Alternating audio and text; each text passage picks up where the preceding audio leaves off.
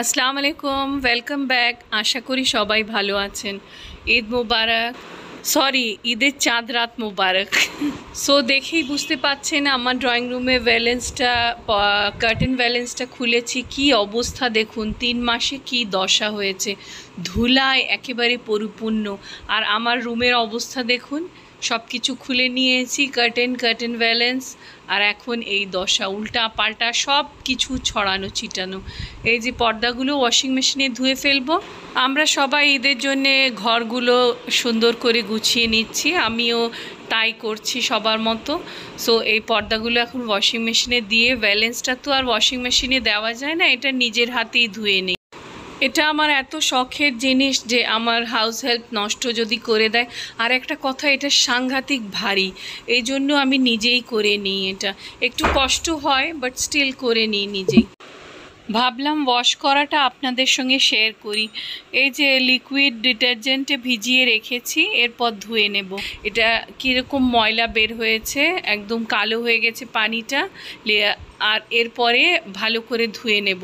একবারে তো ধোয়া যায় না, এটা পার্ট বাই পার্ট দুইটা বড় বড় বাউলের মধ্যে এভাবে ধুয়ে নিই। আগে ভিজিয়ে রেখেছি, দেখুন পানিতে বেশ কয়েকবার আমি ধুয়ে নিয়েছি।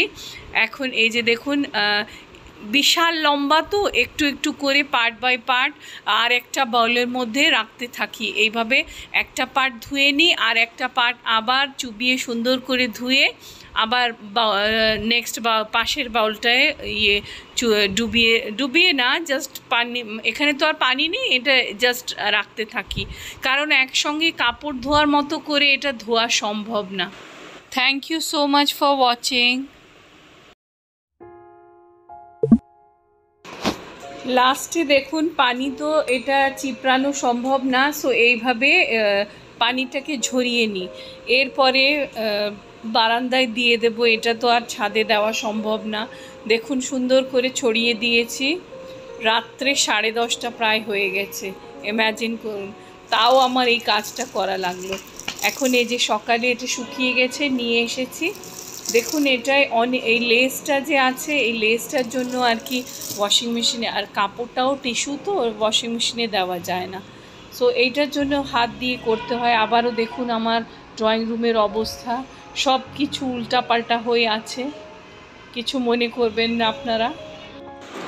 এই যে পর্দাটাও শুকিয়ে গেছে, এখন ইফতারের পরে লাগিয়ে দিলাম। এই ভিডিওটা হয়তো আরও পরে পাবেন ঈদের পরে। সো এখন এই ভ্যালেন্সটা লাগিয়ে নেব। ভ্যালেন্সটা লাগানো বিশাল একটা ঝামেলা। মানে রডে সেট করে এটাকে লাগানো, এই যে রাখা আছে, এখন এটাকে সেট করব। আমার ভিডিওটা পছন্দ হলে প্লিজ আমার চ্যানেলটাকে সাবস্ক্রাইব করবেন আর পাশে থাকা বেল আইকনটা প্রেস করে অল অপশান সিলেক্ট করবেন, তাহলে আমার ভিডিও সবচেয়ে আগে পাবে। Thank you so much to all my subscribers এইভাবে আমার পাশে থাকবেন আর দেখুন কথায় কথায় এটাও সেট করা হয়ে গেছে এখন এটাকে লাগিয়ে দেব লাগানোর পরে আবার আমার রুম আগের মতো সুন্দর দেখাবে সো আজকে এইটুকুই আবার দেখা হবে নতুন কোনো ভিডিওতে আল্লাহ হাফেজ stay happy healthy and safe